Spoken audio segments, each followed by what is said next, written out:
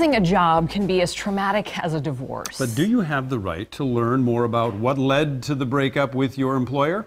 Ted Haller answers in this week's Is It Legal?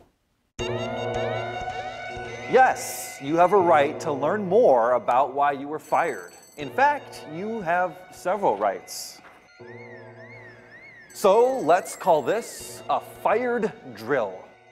If it's been under 15 days since you were fired, you could request a written reason for termination as long as your request is in writing, like an email. You can also request your personnel file. In fact, you can do that even if you're not fired. You also might learn more about why you were fired when you request unemployment benefits, because you might be denied them if you were fired for misconduct.